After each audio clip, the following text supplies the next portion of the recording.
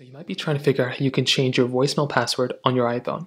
Now doing this is actually very basic and it really doesn't take too much time. So the very first thing you're going to want to do is you want to hop inside of your settings application. Now when you do that, you're going to come into this particular page.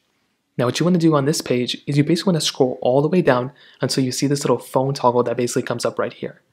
So scroll down until you see phone.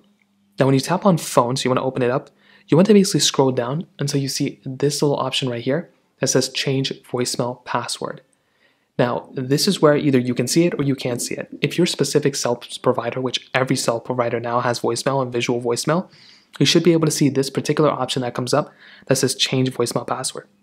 So go and tap on it, and it's going to tell you to enter a new voicemail password.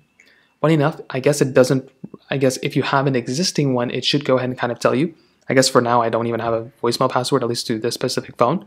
So you can go ahead and change your specific voicemail password. If it tells you to enter a new one, that may mean you haven't already set one up first place. So go ahead and enter your old one and then enter a new one. Or if you haven't set one up, you can enter a new one right here. And that's it.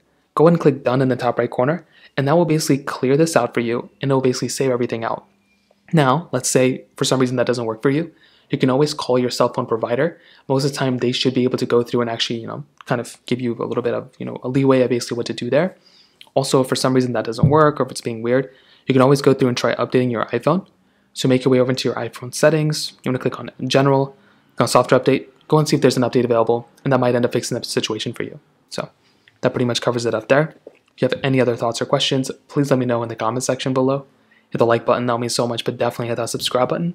More importantly than everything else, I love every single one of you guys. Hopefully I'll catch you guys in the next video.